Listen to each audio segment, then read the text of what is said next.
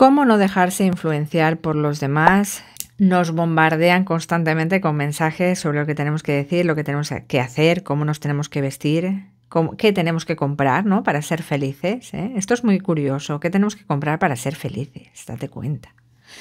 Como si tuviéramos que comprar algo para ser felices. Y lo peor de todo es que al final eh, nos lo creemos. Llegamos a la conclusión de que es verdad que necesitamos esas cosas. Entonces hoy vamos a ver cómo podemos hacer para defendernos de todos estos ataques y no dejarnos influenciar tanto por el exterior para llegar a ser pues nosotros mismos en esencia y digamos que de la mejor manera posible poder decidir por nosotros mismos, por nuestros propios intereses. Vamos allá. El primer paso para ser menos influenciable es ser consciente de las influencias que te rodean, eh, desde la publicidad hasta la propia familia, hasta los propios amigos, todo el mundo todos los días y a todas las horas está intentando influenciarte, eh, hacer que veas su punto de vista, eh, intentar convencerte de ciertas cosas y claro, o llevarte a comprar X cosa directamente en el, en el tema, por ejemplo, de la publicidad. Una vez que somos conscientes de todo aquello que nos están intentando influenciar, antes no, porque no somos conscientes, pues vamos a ser capaces de plantearnos estrategias para poder cambiarlo o simplemente para poder decidir, porque al final nos dejamos influenciar porque no somos conscientes de dicha influencia y no podemos decidir sobre algo que no somos conscientes. Entonces, esto es algo con lo que juega mucho la publicidad. ¿Vale? Que no te des cuenta de que te estoy influenciando y sin embargo te estoy influenciando. Para llevarte a mi terreno, crearte esa necesidad de manera automática otra cosa es que tú luego lo necesites o no lo necesites, pero ya lo tienes comprado, ¿vale? Eso pasa todos los días. De pronto te das cuenta que dices, ¿y yo para qué compré esto, no? Si no lo quiero, no me sirve. Ah, pues porque me convencieron, porque activaron esa necesidad en mí de forma automática e inconsciente. Bueno, pues para evitar todo esto, hay que ser consciente, primer punto, de todas las influencias que a lo largo del día tu mente tiene que sufrir, ¿vale? Desde la publicidad hasta las presiones familiares, por compañeros, por amigos, de lo que sea. O sea, a ver, en la familia muchas veces, oye, pues es que tal se ha comprado un coche nuevo, mira qué coche más chulo, ¿no? Por ejemplo. O mira estas zapatillas, es que las lleva todo el mundo. Es un ejemplo tonto, pero oye, muchas veces real, ¿no? Y oye, pues a mí qué me dices, a mí qué me cuentas, cada cual que haga lo que quiera pero es que al final todos parecemos hechos en serie, ¿no? Con todos, todos con los mismos coches, todos con la misma ropa y todos con las mismas ideas de robotitos en la cabeza solamente por la necesidad consumista de esta sociedad y de la publicidad y de los mercadeos. Siguiente punto muy importante para evitar ser influenciado es defenderse a uno mismo. Una vez eh, identificamos y somos conscientes de cuándo nos van a influir y cómo, pues oye, nos podemos defender y decir que no, de manera correcta, de manera sincera, respetuosa. Hay que defender nuestros propios intereses, ¿vale? Y decir que no es el primer paso. Oye, pues a mí esto no me interesa y no lo voy a hacer y ya está, no quiero hacer esto, ¿vale? Y tan sencillo como eso. Hay que preguntarse, preguntas buenas en este caso, en esta ocasión, en este sentido, son eh, ¿por qué quieren que haga esto? ¿Es porque lo hace todo el mundo? ¿Es porque se supone que es lo que toca hacer? ¿Es porque te dicen que quieren que lo hagas? ¿Es porque se supone que es lo que esperan de ti? ¿O es algo que realmente quieres hacer?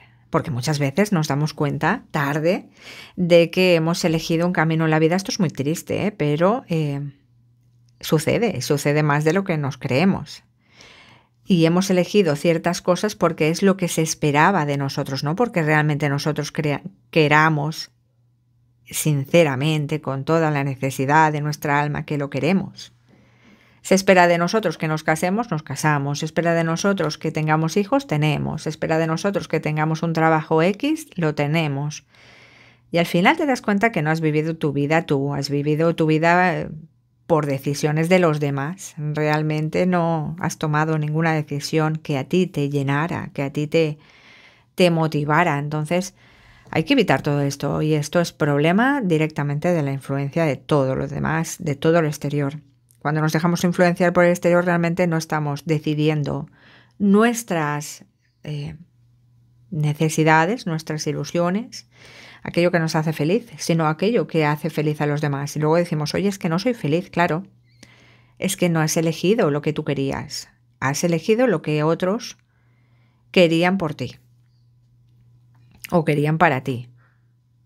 Entonces ahí sí que hay que empezar a cambiar ese problema. Si te está gustando este contenido, no olvides suscribirte, comentar. Estoy subiendo vídeos todos los días importantes con muchísima información de tu interés. Recuerda que quiero crear para ti en este canal ese lugar de reflexión personal que te permita crecer cada día un poquito más a nivel personal, inteligencia emocional, crecimiento personal y mentalidad de éxito. Nuevo, nueva faceta, la verdad muy interesante. Voy a subir vídeos de mentalidad de éxito porque es muy importante. Y yo creo que en el plano hispanohablante es algo muy necesario. No tenemos una cultura del éxito propiamente dicha y, de la negociación y bueno, pues todas estas personas exitosas con negocios eh, prósperos que piensan de una determinada manera y actúan de una determinada forma, digamos que hay una psicología del éxito muy interesante mm, que nos puede traer muchos beneficios si conseguimos entenderla y integrarla en nuestra vida personal y profesional a diario y que voy a ir eh, dándote claves, así que suscríbete y no te pierdas nada, coméntame, lo leo todo. Y quédate hasta el final porque voy a decir la mejor para el final, dejo la mejor siempre para el final junto con mi conclusión personal. Siguiente punto, hay que reflexionar cada vez, y yo diría que una vez al día, o por lo menos eh, si no tienes tiempo, anota, anota cada, cada cosa que, que veas chocante, que intenten influenciarte. Es que al final sería imposible anotarlo todo, porque es un bombardeo constante de sugerencias, voy a decirlo así, de compra esto, haz esto, eh, siéntete esto. Es que te dicen hasta cómo te tienes que sentir. Es que esto es súper relevante. Este tema está, vamos, es súper relevante. Entonces, claro, oye, me tengo que vestir así, tengo que ser así, me tengo que sentir así, tengo que tener este coche, tengo que tener este trabajo, tengo que tener este, esta pareja, tengo que tener estos hijos. Luego al final la gente se preocupa por unas cosas estúpidas. Es que me preocupo porque no tengo este modelo de ropa. Me preocupo porque mis... o las notas de mis hijos o lo que sea no son lo suficiente que al final todas estas influencias acaban machacando nuestra persona, nuestra psicología, ¿eh? la autoestima, la confianza. Dejarse influenciar por los demás es abrir la puerta a la infelicidad total, porque claro, y lo peor de todo es que por mucho que hagas caso a todos, al final no vas a eh, satisfacer a nadie. Encima luego no lo van a agradecer, encima luego no lo van a ver, encima luego van a seguir machacándote, eh, criticándote y exigiéndote más. No hagas eh, caso a nadie y haz lo que te salga a ti del mismísimo pelo de la cabeza. Porque claro, es que si no, mal por mal, oye, pues al final hay que vivir tu vida, tu propia vida, no lo que los demás tienen preparado para ti. Reflexiona, reflexiona sobre todo aquello que te está acosando esa capacidad de decisión. Hay que ser consciente, ¿vale? Y e ir cambiando poco a poco. Si es posible ir anotando cada día una cosita, ¿vale? Oye, pues mira, esta cosa me está influyendo. Sea una madre, sea un padre, sea una publicidad, sea una persona que está publicitando, un, influencer, quien sea, y te quiere convencer de que le compres lo que sea, ¿vale? Vale. Hay que plantearse sinceramente, honestamente, oye, yo esto lo necesito o simplemente lo compro y estoy comprando eh, su éxito o estoy comprando eh, que yo crea que puedo ser como esa persona, estoy comprando mi admiración por él, me está cegando. Todo esto es muy importante. ¿eh? Hay que plantearse lo que hacerse las preguntas pertinentes y necesarias para saber si es una compra compulsiva o impulsiva o si es una compra con cabeza al final. O si es una decisión de influencia, de que no es compra, ¿vale? Pues tomada para nosotros o para satisfacer a los demás, ¿vale?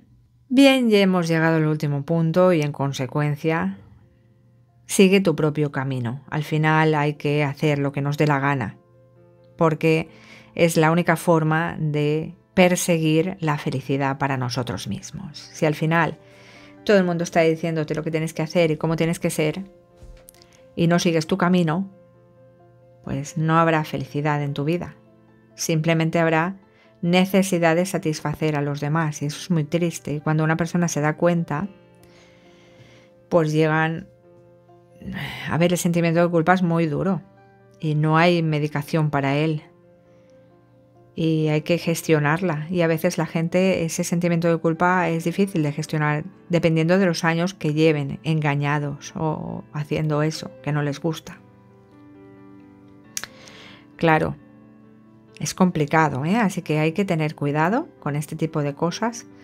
No dejarse influenciar porque podemos llegar a un punto de nuestra vida que nos demos cuenta que ya sea muy tarde y que digamos, madre mía, la de tiempo, toda la vida he perdido intentando satisfacer a los demás porque nunca llegas a satisfacer completamente a los demás y aunque los satisfagas, te tienes que satisfacer a ti. Si es que los demás al final no son nadie para vivir tu vida y encima has perdido todo ese tiempo que no, que no vas a volver a recuperar. Así que, uff. Pero date cuenta, te lanzo un mensaje de esperanza que gracias que te has dado cuenta todavía pronto, es decir, pronto no, pero tarde pero a tiempo, ¿vale? Y puedes rectificar y todavía tienes tiempo de vivir tu vida. Aprovecha y olvídate de todas las voces externas y haz solo lo que te mueve, lo que lo que te, te, hace vibrar, lo que te mantiene vivo o viva. Conclusión final. Eh, todos estos puntos son importantes. Es un tema muy importante. La gente a veces no se da cuenta. Vivimos demasiado deprisa, demasiado sumergidos en obligaciones, en, en cosas, y no nos paramos a pensar, no nos paramos a pensar y esto de la influencia es peligroso. Entonces al final hay que vivir, eh, la vida es demasiado corta para vivir otra vida, vive la tuya, Sigue tu propio camino. Ese es mi consejo. Tengas la edad que tengas, estés en la situación en la que estés. No te dejes influenciar, no te dejes aconsejar. Puedes aceptar el consejo en el sentido de escucharlo, pero al final decide por ti. No decidas por nadie más, no decidas para complacer a nadie, no decidas por miedo a lo que alguien pueda decir o lo que los demás puedan pensar de ti. No decidas nada que tenga que ver con el exterior, decide lo que te hace feliz a ti por muy difícil que sea. Yo sé que es complicado a veces, sé que se pueden presentar situaciones difíciles, son pruebas que nos pone la vida para hacernos más fuertes. Bien, si has llegado a este punto, recuerda suscribirte, comentar, coméntame tu caso, suscríbete y nos vemos pronto.